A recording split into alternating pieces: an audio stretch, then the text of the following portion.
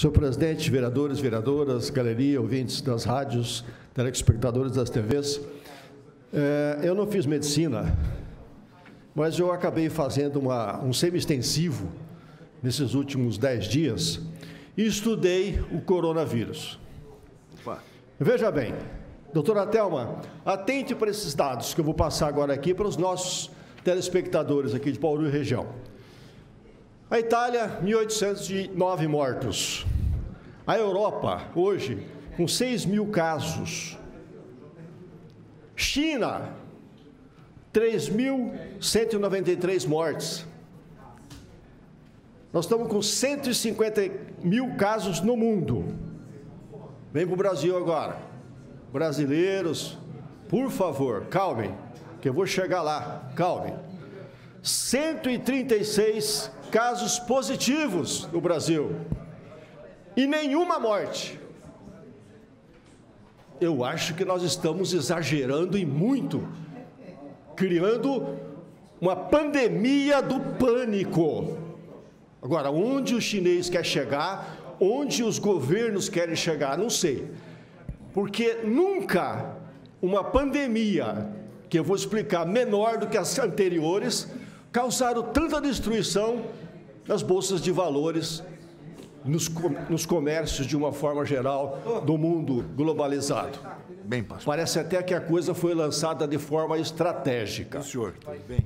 A dengue no Brasil, em 2019, nós tivemos, enquanto a coronavírus não teve nenhum morto ainda, nós tivemos 754 óbitos.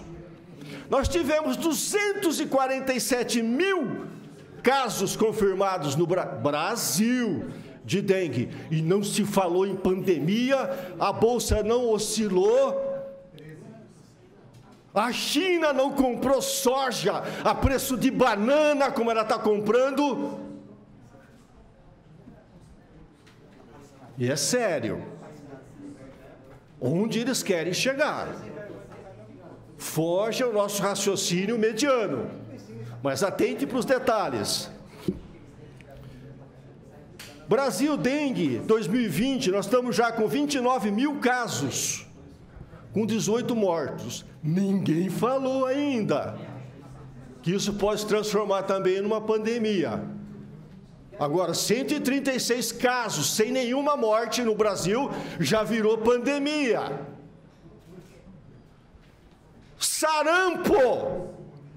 Em 2019, sarampo, nós tivemos 13 mil casos, 15 mortes.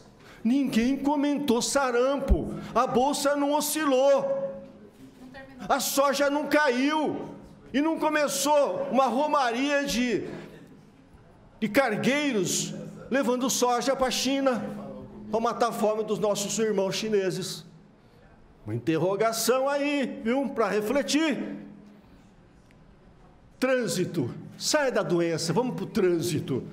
Nós tivemos 38.650 pessoas que morreram no trânsito. O Brasil é líder da América Latina de acidentes. Não se comenta. Passa em branco. Nós tivemos, em 2019, quase 51 mil assassinatos e a imprensa fica quietinha. Mas 136 casos de coronavírus parou. Até a Ana Maria Braga não tem programa mais. O Faustão não pode ter plateia. E aí, por adiante. Olha só, comédia, Marquinhos. Cobra. Picadas de cobra. A Organização Mundial de Saúde classificou as picadas de cobra oficialmente como uma doença tropical. Nós tivemos a negligência tropical. Nós tivemos já 5 milhões de pessoas no mundo picadas por cobra, que levam por ano 100 mil a óbito. E ninguém fala que a cobra mata. Agora, no Brasil, porque vem lá de fora, nós estamos aí com 136 casos, nenhuma morte. E a pandemia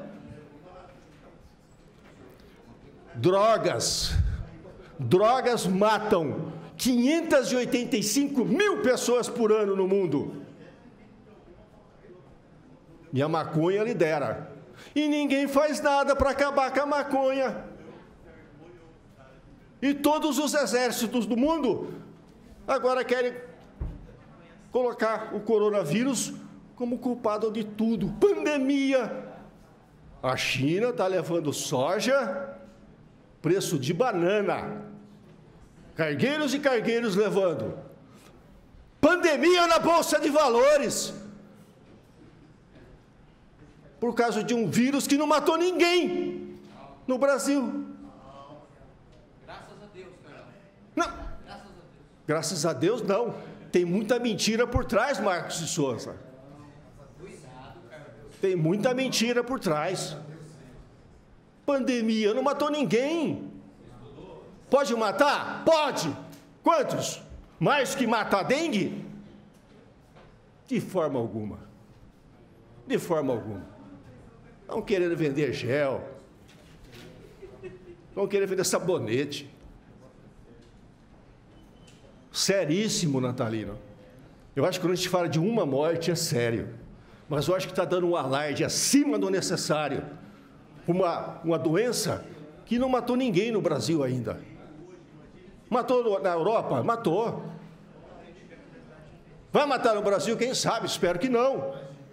Mas eu acho que está causando um pânico na população desnecessário. Tem pessoas que já não estão passando, circulando na rua. Hoje a minha filha falou, pai, eu quero ir no mercado, mas eu não vou. O senhor vai para mim? Eu falei, opa, eu corro mais risco que você, eu sou idoso. O índice de, de matar velho é maior, matar idoso é maior. Gente, suicídio no Brasil, 13.500 morrem por ano. Ninguém fala nada. Doença de Chagas. Doença de Chagas. A imprensa não coloca na mídia, nem Globo, nem SBT, ninguém coloca 136 casos que o Brasil tem e nenhuma morte. E coloca lá 1.300 casos suspeitos e quase nenhum confirmado. 6 milhões de pessoas por ano são contaminadas no mundo pela doença de Chagas. 14 mil morrem por ano de Chagas. Isso não é pandemia. Isso não é nada. Quer dizer, morrer do corona é pandemia.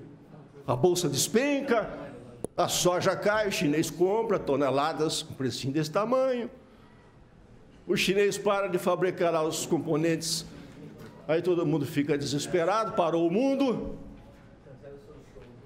Aí ele sobe o preço, todo mundo compra. Observem o PIB da China se caiu. É só tomar uma. Não caiu. Se caiu, uma coisa insignificante. Recupera daqui a pouco. Só para finalizar, senhor presidente, isso tudo é para reflexão. Porque eu acho é sério o coronavírus no mundo? Sério.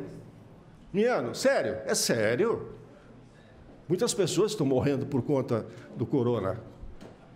Mas eu acho que não é para tanto principalmente no Brasil. 136 casos, nenhum óbito, nenhum óbito. HIV, doutora Thelma, a AIDS mata no Brasil